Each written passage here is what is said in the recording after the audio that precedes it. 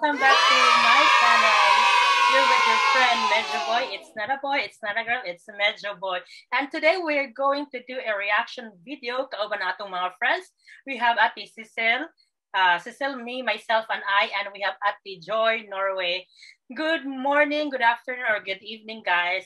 Hello, mayong afternoon, Ate Cecil, right? Afternoon. Good afternoon po, Good. uh, Ate Joy. Good afternoon. Mayong buntag. May buntag. Before we start, I'll Yeah. ask you guys to invite our friends to subscribe to our channel. So let's start with Ate Cecil. Hi guys, this is Saisel, me, myself, and I.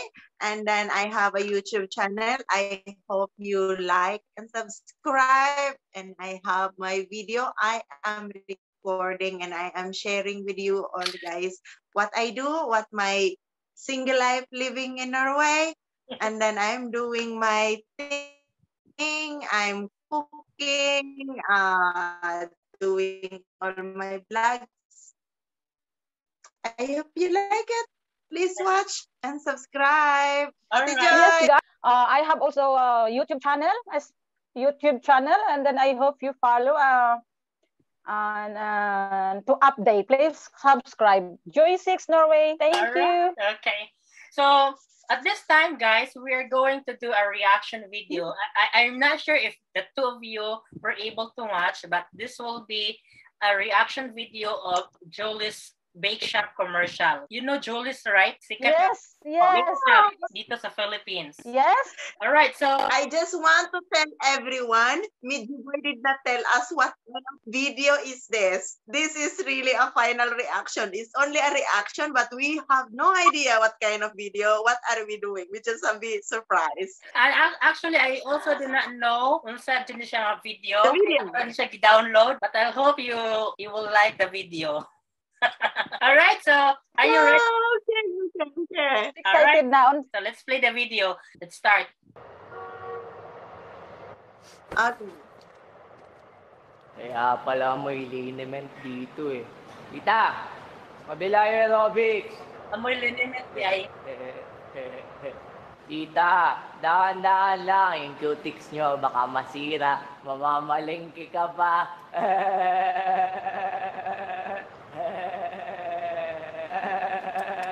Tita Shamer ka, ha?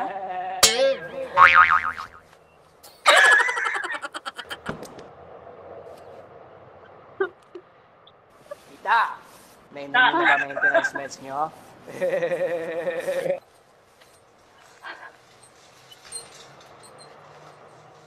nga din magluto sa para sa Juliet. Tita, yung gayuman nyo, baka umatake. Pandesal sa Juliet. Okay, count the blood more.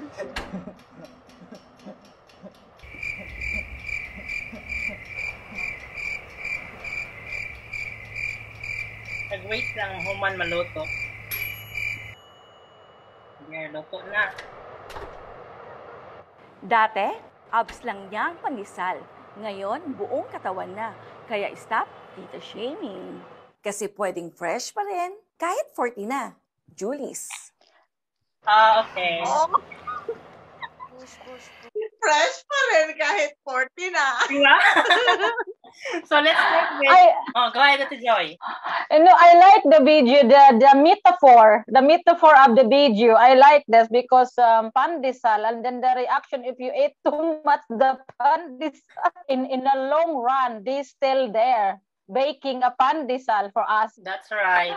That's a good uh, that's a good commercial. All Okay. right, so si Ate Cecil ato po itong tanong sa iyang reaction. Sa mo reaction sa itong video, Ate Cecil? It's very intricate way. It's just like it's it's really like well, Jolie's Big Shop. I grew up in Jolie's Big Shop also, so I know it's Jolie's Big Shop. So it's like close to our house. I remember like Ate Joy is like in high school. We have like a pandesal in the morning, Mhm. and then it's really the, the the advertisement is really very creative, very creative, and it's like catchy to the people. It's very nice. It's it's very respectful way of making it, and it's it's it's it's nice. I I like the advertisement. It's funny.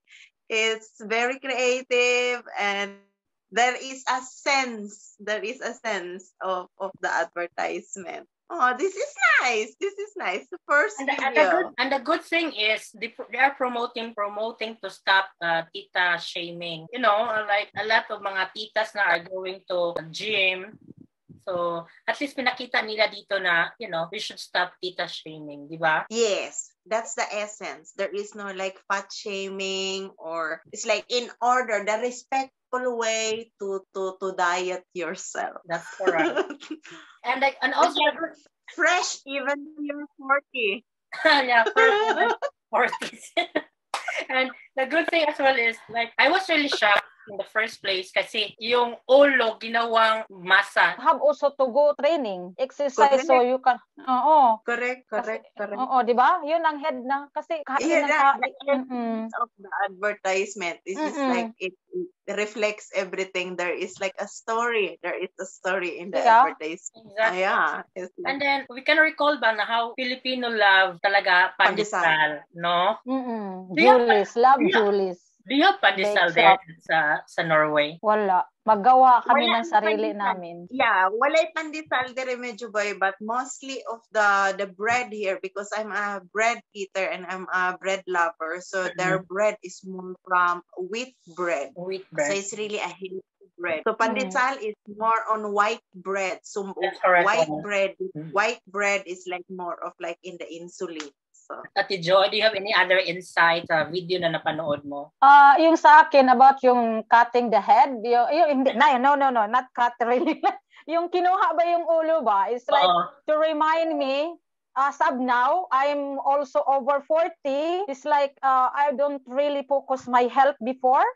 Uh, when I'm in high school, mirror me that uh, uh, metaphor the head uh, na hindi natin makal hindi lang isipin natin kain ng kain kailangan isipin din natin you have to we have to take care of our health yeah, go exercise focus also of how to take care of yourself. Bread is like must be eaten in moderation because if you eat too much, just like always say you have to eat and you have to eat and you you love to, to eat bread pandesal in the morning.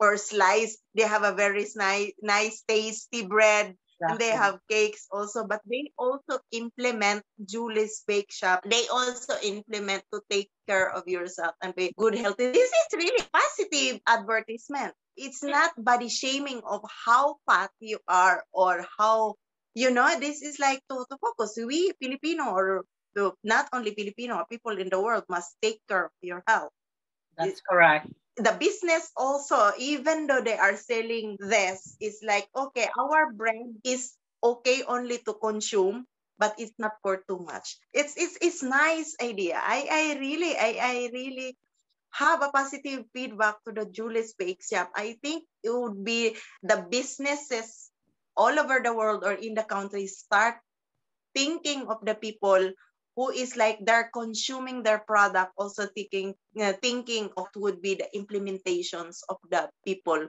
who consume this one.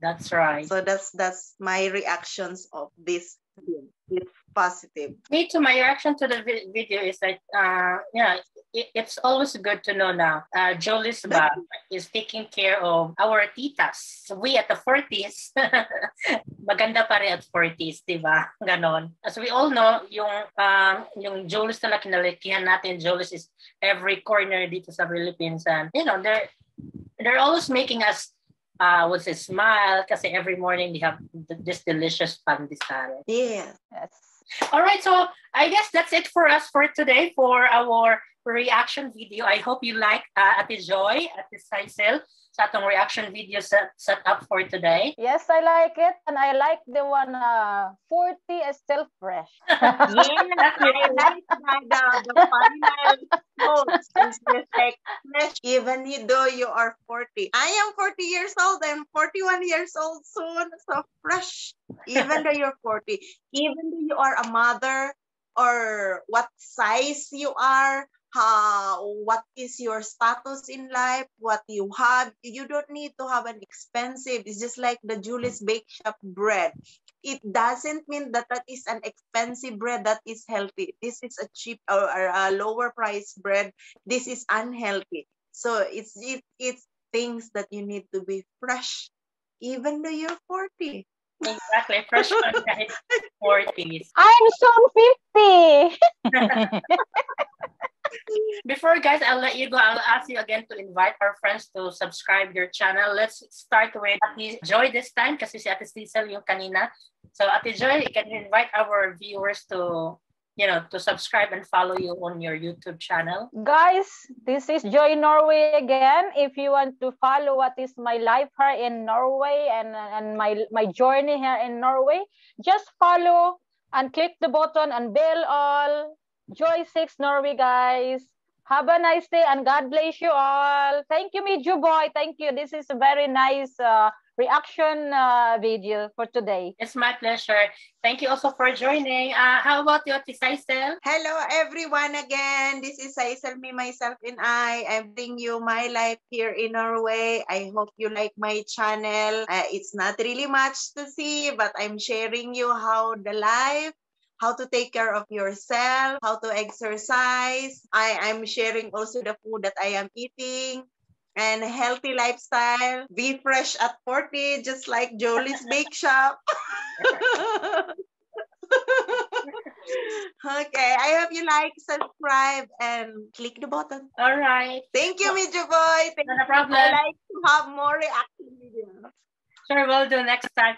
Thank you again for joining us. And if you like our reaction video, please leave a comment on the comment section below and make sure to hit the notification bell so you'll be updated for our upcoming videos. You can also click the I buttons above for more videos. This has been your friend, Major Boy. It's not a boy, it's not a girl, it's Major Boy. Bye, guys!